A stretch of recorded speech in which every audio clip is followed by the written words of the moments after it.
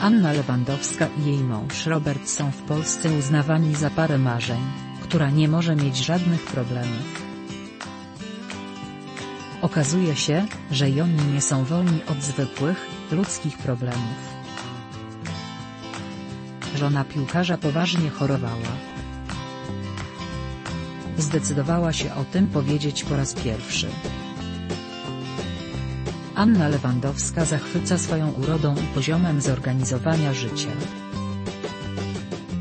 Ona i Robert wyglądają jak para z bajki, której w życiu ułożyło się wszystko, co może się tylko ułożyć. Niedawno para została rodzicami.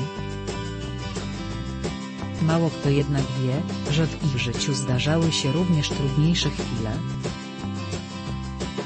W książce Nienasycony, która jest biografią Roberta Lewandowskiego, pojawia się wspomnienie pewnego dramatycznego roku, w którym najmniejszym problemem piłkarza były mecze, które przegrały.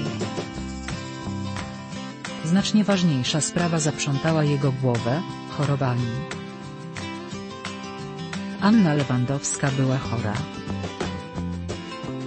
W książce, której autorem jest dziennikarz Paweł Wilkowicz, Anna Lewandowska zdecydowała się na poważne wyznanie.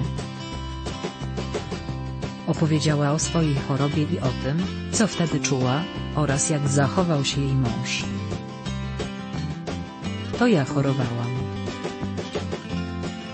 Miałam jeden rok w życiu bardzo słaby. Poważna choroba.